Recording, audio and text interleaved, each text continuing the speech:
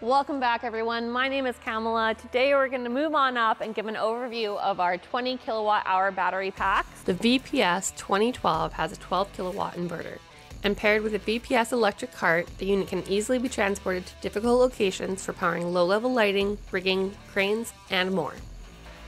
Keeping things extremely consistent, on the sides you have your D-rings. These again are for tie down only. If you want to lift the unit, you have your removable forklift pockets underneath. As well on the sides, you have your air intake vents. Always make sure these are kept clear so that the unit has proper airflow throughout. Coming around to the front of the unit, same as the 10 kilowatt hour, everything that you need for operation is right on the front, easy to access, and it all is completely weatherproof. At the top, we have your e-stop, which is very important that you only ever use this for emergencies. It is going to disconnect any inputs and outputs from the unit.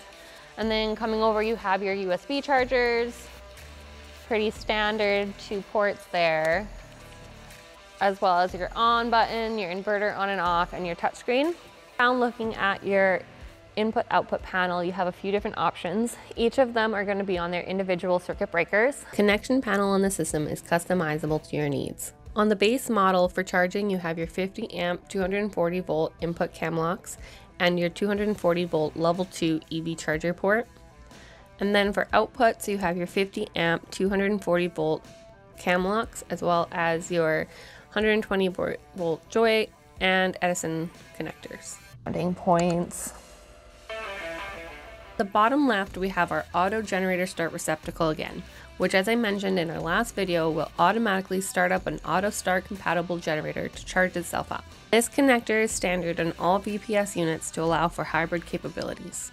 Operation of this system is the exact same as the 10 kilowatt hour battery pack where you're going to want to hold on the power button. A splash screen will come on before the home screen shows and then the system is fully operational. Your touchscreen is also going to show you the output current and output power. There is a ton more information that these touchscreens have, but we're gonna save that for another episode and dive in much deeper.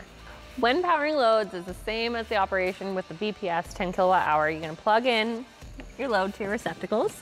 Today I'm just using the Edisons. And then once everything's plugged in, you can go ahead and plug your inverter on and off.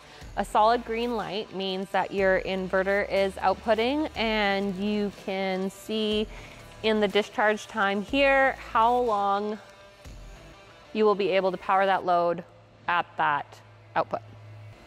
When you're all done, turn off power to your load and then you just turn off your inverter button, which will no longer be illuminated green when it is no longer outputting power.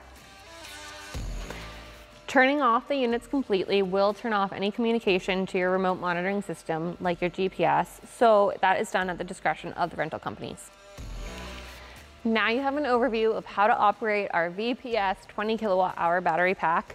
The units are only gonna get bigger from here, so make sure that you stay tuned for our next episodes.